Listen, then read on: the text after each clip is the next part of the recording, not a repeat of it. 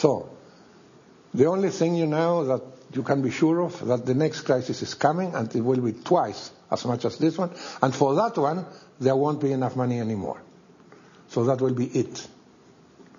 And that is the consequence of systematical human stupidity. Now, why the hell are they so afraid to change? When they know, you know that this is an absolute collision.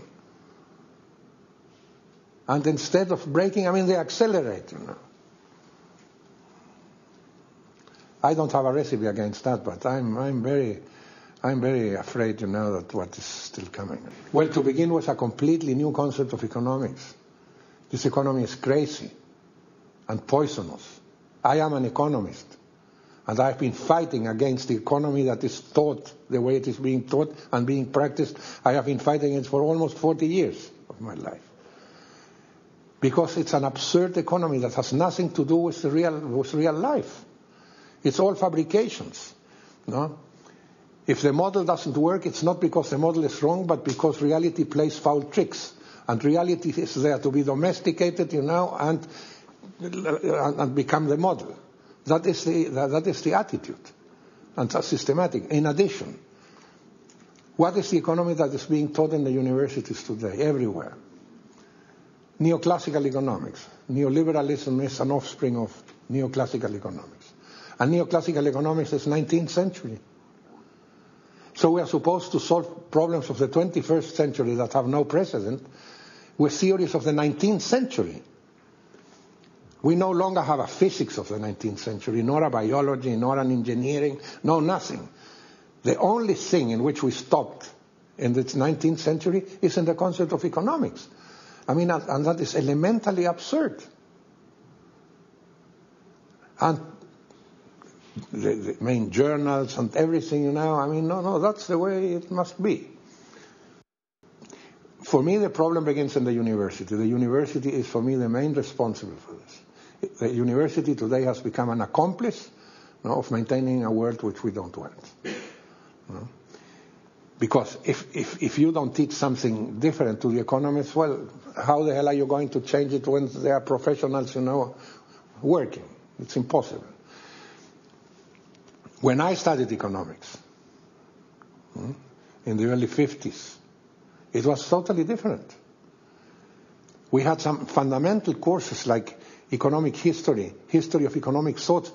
Those courses don't exist in the curricula anymore. You don't have to know the history. It's not necessary.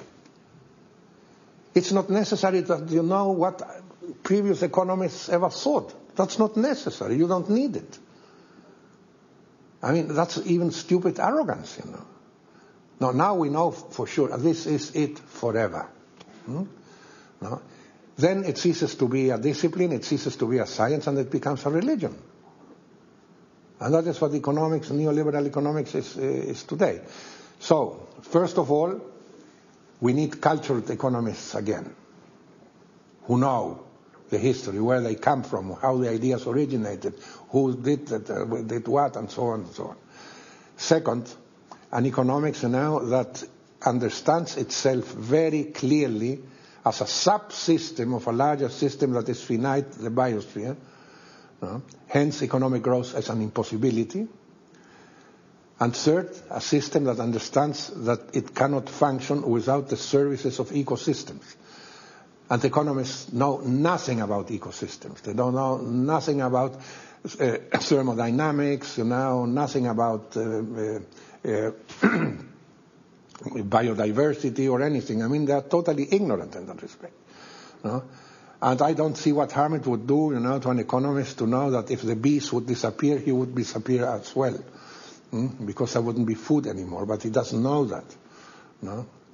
that we depend absolutely from nature. But for the, these economists we have, nature is a subsystem of the economy. I mean, it's, it's absolutely crazy. Know? And then, in addition, you know, bring consumption closer to production. Um, I live in the south of Chile, in the deep south. And that area is a, a fantastic area, you know, in milk products and what have you. know? Top technologically like the maximum. You know? uh, I was a few months ago in, in, in, a hotel there in the south for breakfast, and these little butter things, you know, I get one, butter from New Zealand. I mean, if that isn't crazy, you know. And uh, why? Why? Because economists don't know how to calculate really costs. Know?